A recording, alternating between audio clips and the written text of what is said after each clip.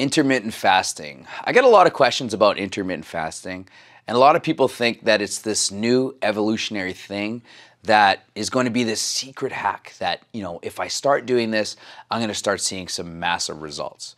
Now, I personally love intermittent fasting, and I've done anything from a 8, 16, 24, I've even gone up to a 48 hour fast. In fact, I've heard of people doing seven day fasts, and yes, it does lead to weight loss. And in today's video, I'm gonna teach you how to do it and why people are losing weight from intermittent fasting. So number one, we have to understand that this isn't new. Number two is that there are three types of fasting, in my opinion, a true fast, zero calories, or low calories.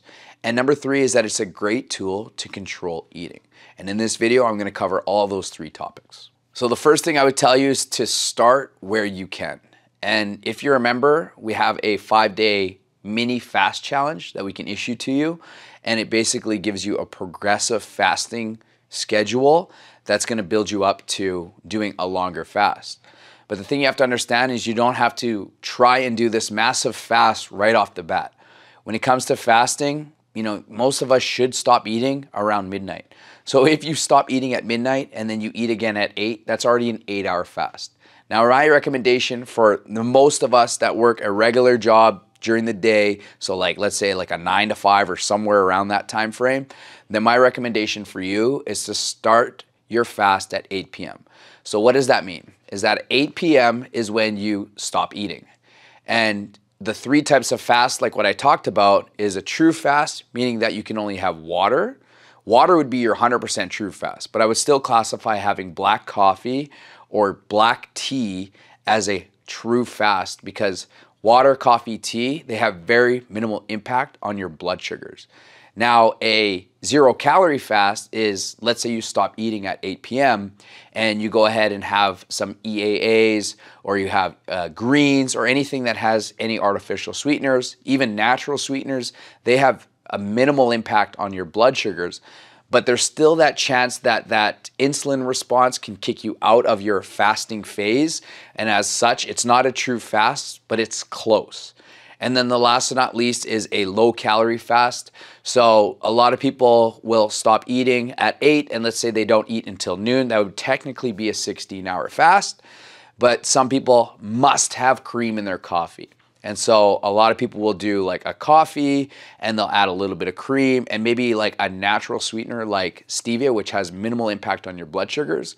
But even that little bit of calories from the cream, yes, it won't kick you completely out of your fast, but it does have an impact on your fast. So it's not a true fast. You've just basically condensed the amount of calories that you're eating in a short period of time.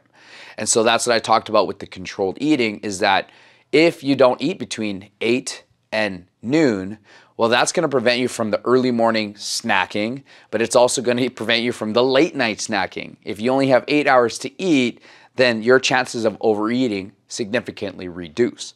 In fact, a lot of people that are overeaters and maybe they don't need a lot of calories, I would generally put them on a higher fast, like an 18 hour fast, because then they have a shorter window to eat, overeat the foods that they love. So you can still eat everything that you love, but you have to eat it in a short window. And most people, if they're hitting their water goals and they try to eat all the food, let's say a person's allowed like 2,000 calories, to eat 2,000 clean calories in a short window like that, you're gonna be extremely bloated, full, and there's no way you're gonna be able to do that long term.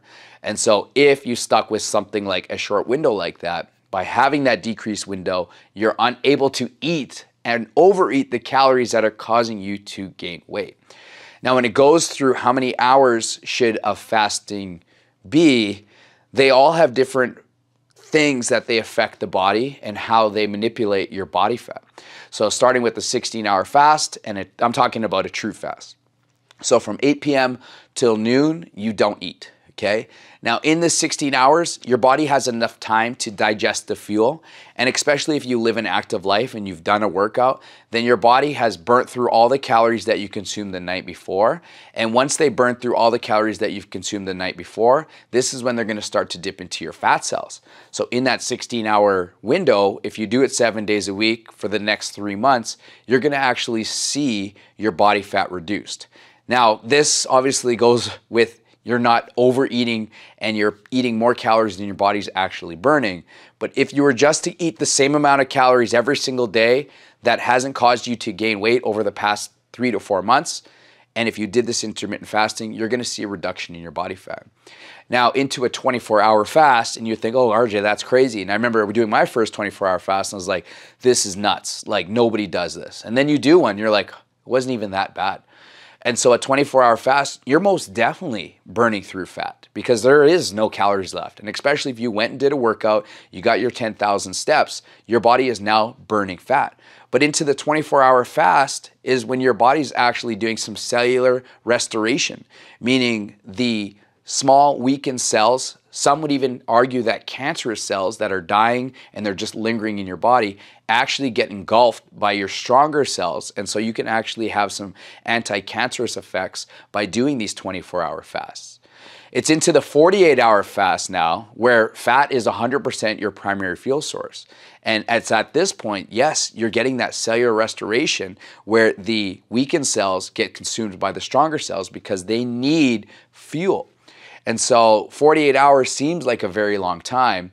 And what I want to do today is give you a fast eat, fast schedule that I've done with many clients that have worked to keep them sane within those 48 hours, to make them not feel like they're losing muscle, to make them feel like they still have energy, yet they're taking advantage of those 16, 24, and 48 hour perks that you would get but without going through the struggle of it. Because I did a 48 hour true fast and honestly it was such a struggle.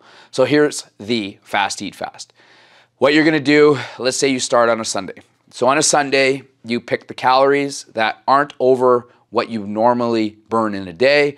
So for instance, for you, it could be like 1500 calories, okay? So 1500 calories is where you feel good, you feel fed, you don't feel full, and you don't feel starved. And so you would eat that on a Sunday. Then you would stop for 24 hours. Then you eat at the 24 hour mark. But what you're gonna do is just eat something to, to make your body feel like, okay, I'm being fed, I'm not going into starvation mode and I have, you know, these calories that are in me, so I'm going to distribute these properly so that I don't lose muscle and I don't feel like I'm losing my energy.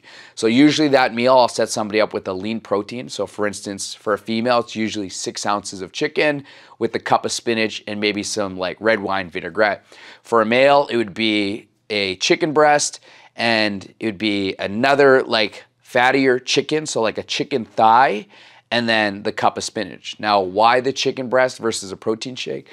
The protein shake is always already liquided and there isn't any fats or carbs generally in the proteins. And as such, that protein gets digested very rapidly and it could actually make you feel hungrier.